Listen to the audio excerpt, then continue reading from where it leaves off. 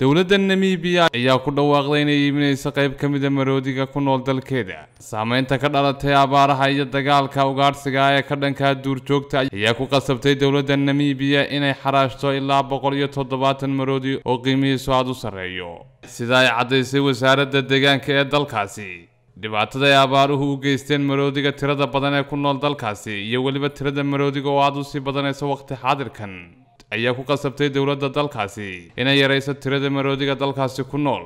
Qoraal lagu baahiyey wargeyska ku hadla afka dowladda ee dalkaasi ayaa lagu sheegay. Markay dowladda qiimaysay dhibaatada abaaruhu ay ku hayaan dalkaasi iyo weliba weerarada bini-aadamku ay ku hayaan maroodiga ayaa waxaa qasab noqotay in la fasaxo in la iibiyo maroodiga dalkaasi wasaaradda deegaanka ayaana ku casumtay shirkadaha daneeya arrintani inay raacaan shuruudo gaar ah oo ay ka mid yihiin. Xeerarka caalamiga iyo inay haystaan ogolaanshaha in xayawaankan loo dhoofin karo meesha laga doonayo. Waxaana loo qabtay cid kasta oo danaynaysa maroodigan ku nool dalkaasi inay iibsan karaan. Muddo aan ka badnayn lixdan cisho kuna eeg dhammaadka bisha januari ee sanadka laba kun iyo koob iyo labaatanka sannadkii la soo dhaafay ayay ahayd markii dowladda namibiya ay xaraashtay ilaa kun ka mid a xayawaanka duurjoogta kuwaasoo laga cabsi qabay inay u dhintaan abaaraha kala duwan ee dalkaasi ku soo noqnoqday. Qorshahaas oo looga gol lahaa in lagu helo lacag gaadhaysa malaayiin dollar si deegaanka iyo duurjoogta loogu badbaadiyo.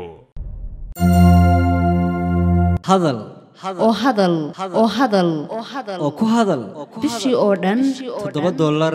Oo keliya haddaba si aad ugu shubato adeega kaafiye fadlan garaac xidig siddeed eber siddeed afargees ama xidig laba eber laba. Tayo.